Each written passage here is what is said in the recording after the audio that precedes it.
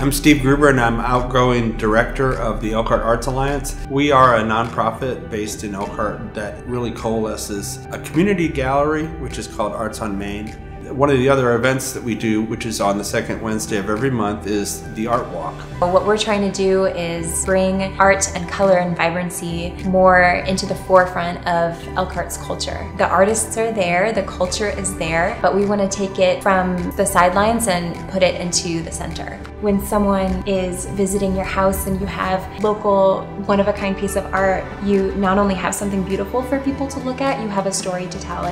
What Art Walk brings is discovery for people in Elkhart and Elkhart County to get to know their downtown better.